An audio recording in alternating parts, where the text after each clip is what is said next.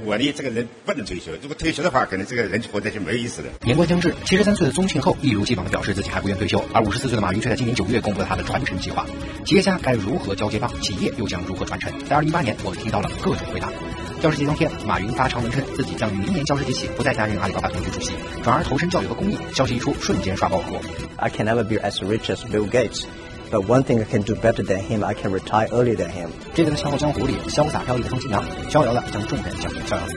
而相比阿里巴巴，二零一八年其他企业的传承之路似乎就走的不那么逍遥了。今年四月，曾经风光无两的摩拜被美团全资收购，一个月后，原 CEO 王晓峰被禁出局，胡伟伟则把共享出行的创业理想交给了美团王兴，而老对手 OFO 也在二零一八年底的资本寒冬中存亡沉迷。今年五月，变革者陆琪从百度离职，李彦宏无奈回归一线解放，被腾讯寄予厚望，市值已经突破七百亿的永辉超市，十二月初也爆发了分家分运。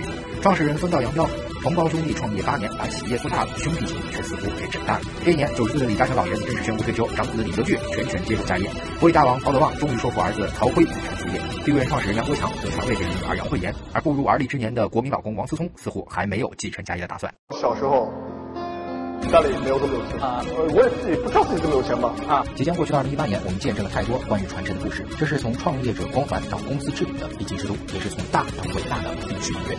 相信年轻人，因为相信他们，就是相信未来。